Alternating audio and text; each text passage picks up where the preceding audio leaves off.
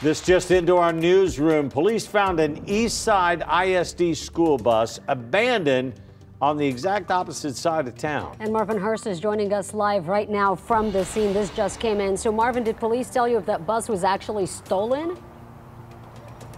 So, Sarah Barry, I've been monitoring this for uh, ever since about 5 a.m. this morning. I heard that this bus was stolen. We have confirmed it with San Antonio police. That is the evidence that is behind me, bus 252. Hopefully no kids need to get on the bus this morning because sometime overnight police believe that that bus was stolen. They say it's parked over here. We're in 6050 Ingram Road in the parking lot of the Poco Loco Supermercado.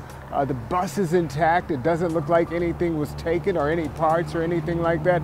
So it is a real mystery like why somebody would take that bus and park it over there. East Central ISD has been notified. The investigation, of course, just beginning. Surveillance video is probably going to be key in this. Of course, we'll have an update on this later today. Reporting live, Marvin Hurst, KENS 5. Thanks, Marvin.